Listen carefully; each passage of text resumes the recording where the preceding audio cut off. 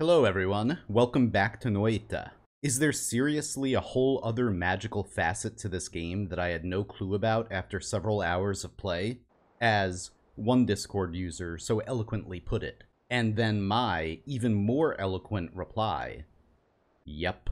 So yes, alchemy is yet again another mechanic that is more or less hidden in plain sight in Noita. Basic alchemy is pretty much everywhere around us as we play. Water and fire produce steam. You can add water to toxic sludge to completely neutralize it. There is combustion, which produces smoke, etc., etc. There are many reactions happening all around us.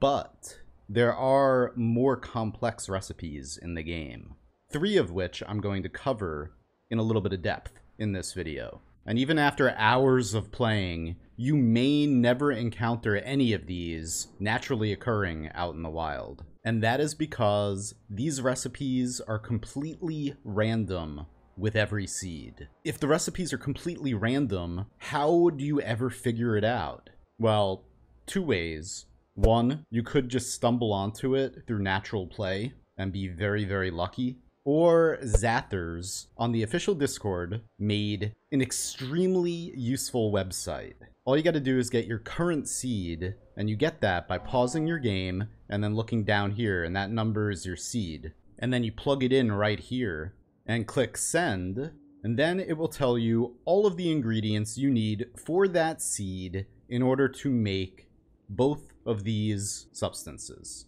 And I'll put a link down below in the description box of this video to this site. First up, Lively Concoction. What is it? What does it do? Well, let's make some more to demonstrate. And to help me demonstrate, I actually took a little dip in toxic sludge and brought my health down to 5. And in this particular seed, the recipe for lively concoction is none other than water, coal, and blood. Now, let me just spray out all this water. I want to make a bunch of this stuff. Make a big pool of it. I already have a full flask, but whatever, it's fine. Now, um, let's just throw this. Boom. And now we have lively concoction. All of the coal is being converted to lively concoction. And as you can see, I'm drowning, but I'm healing at the same time. I could also stand in the middle of this fire without a care in the world. Just chilling out. No problem. You're want to flask it up as soon as possible, though, because as you can see, lively concoction, or LC as we call it, evaporates extremely quickly. Now let's make some alchemic precursor. In this seed, the recipe is pretty simple. It's oil, and we got a giant vat of oil right here. Oil, pheromone, and berserkium. So all I have to do, not that, don't light the oil on fire, just spray a little bit of this, a little bit of this, and see what happens. When it mixes at the bottom, boom, there we go. This is all al alchemic precursor. And check it out, it's making a bunch of it. Just a couple little sprays like that should convert all of the oil into alchemic precursor. Now, let me just, we have an empty flask right here. Let me just jump all the way in. And then boom, fill up this flask with the alchemic precursor. 100%, let's get out before we drown in it. It makes you drunk. and interestingly enough, alchemic precursor doesn't do anything on its own. You need to mix something else in with it to create another extremely interesting concoction. People say that you can use blood to achieve the desired reaction, but allow me to debunk that myth right now. As you can see, we have a Blood Cloud wand. No reaction. And here, I have a couple of 100% full blood flasks. Again, no reaction. And by all means, please do not use fire. Okay, I'm drunk. Please excuse my poor aim. Please don't use fire. because as you can see, it is extremely flammable and you will lose it all very, very quickly. And so you're probably asking, hey Fury, what does cause the desired reaction? And the answer is not blood, but meat. And I could use this rotten meat right down here. I could blow a hole right in the side of this vat and we'll see the reaction. But I want to do this the right way. So we're going to kick this out of the way. I want to, let's blow off the side of the vat right there. All right. And then we're going to head up to the surface for uh, some other meat. And it just so happens that worm meat works just fine. The first egg on the tree is guaranteed to spawn either a small worm, medium worm, or a big mama. Get rid of that. Let me just...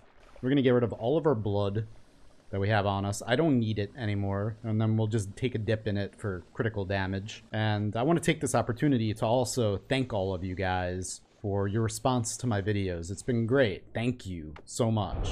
And I need to also thank the Discord community for being amazing.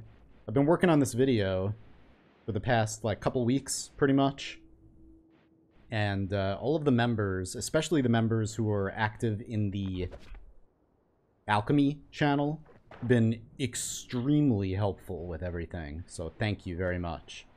And yeah, I'll put a link down below in the comment box, or not the comment box. Maybe I'll pin a comment as well.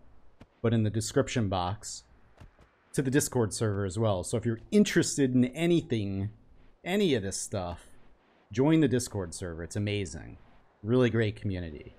Anyway, so let's see. We're just to smash the egg right here. We got a small worm. That's fine. Works just fine. All right. Easy to kill. Uh, because sometimes I've, I've done a lot of worm hunting on the surface here. And sometimes, like, if you get a medium or a large one, they just, you know, they peace out. They go down there and then you never see them again. Or maybe you got to kill them down there. This one I had to take care of up here on the surface. and now we gotta just soccer or football this chunk. We have a few tries here. Hopefully we could do this. I hope it doesn't land.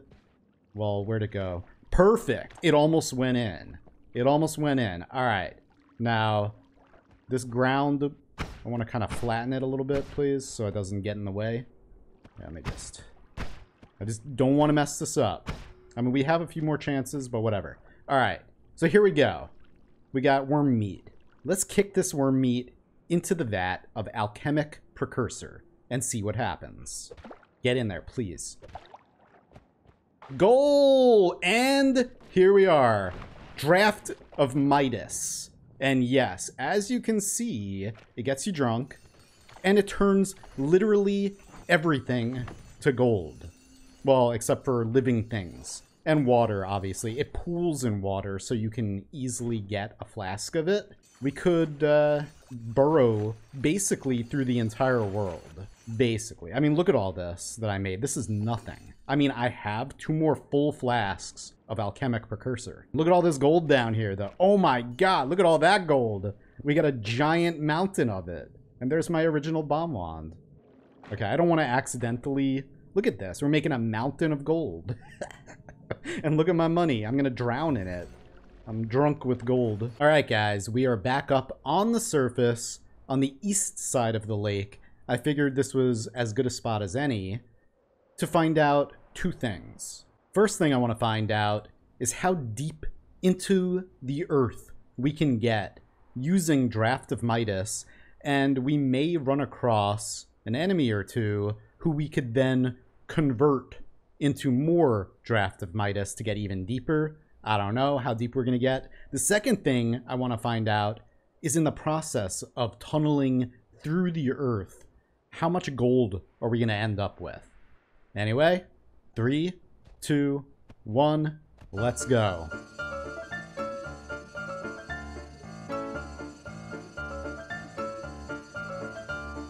So it's like 15 minutes later, and I was hoping that we would run into something. So I'm kind of starting to head in this direction a little bit to see if we could, you know, find what biome we're near. Oh, we found something. Where are we? As you can see, the laboratory, this is the end game. Oh my god. Well, um, look at this. Wow. Oh my god. Let me get out of here. Let me go back to where it's safe, where all my money is. My Scrooge McDuck's treasure vault or whatever. Um, yeah, I'm just gonna keep going. I don't know. We're gonna get into deep trouble. Woo! Lava. Okay. Well, we made it all the way to the end, but I don't want to show anything else now. This was uh, an eye-opening experience.